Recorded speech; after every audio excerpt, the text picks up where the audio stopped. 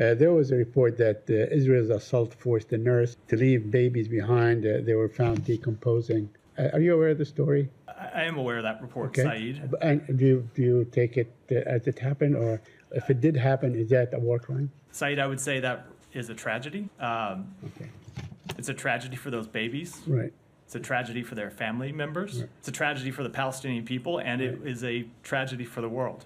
Okay, And it is why we have made clear that far too many Palestinians have been killed in, in this conflict. And that, of course, includes far too many Palestinian children and, of course, Palestinian babies. And it is why we have taken every measure we could to speak loudly and clearly to the government of Israel that it needs to do everything it can to minimize civilian harm. And it's why we have worked to try and move humanitarian assistance in. And it is also why I will say we have said that Hamas should stop hiding its fighters. In. I'm, hospitals. I'm, I'm so, about so this particular incident. I, I, I, I know. I just, I just, I, I, it gets to the, the very difficult nature of this war, Right. Um, and the immense human tragedy um, that has been inflicted on far too many people. but if it happened, it's not a war crime, or is it a war crime? So, so I, I'm never going to be able to make an assessment here. You saw us today make a conclusion.